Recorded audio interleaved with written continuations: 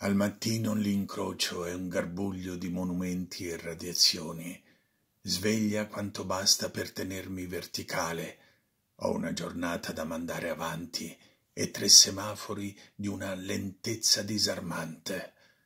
Quando scatta il verde attraverso il volume delle cuffie per non sentire la gazzarra dei motori, la metro gonfia mi passa tra le gambe, l'asfalto trema sotto le mie piante, dove l'inverno mi bagno e l'estate mi infuoco, in compagnia di tanti, dove sempre, per dovere o per fame, sempre tocca ritornare.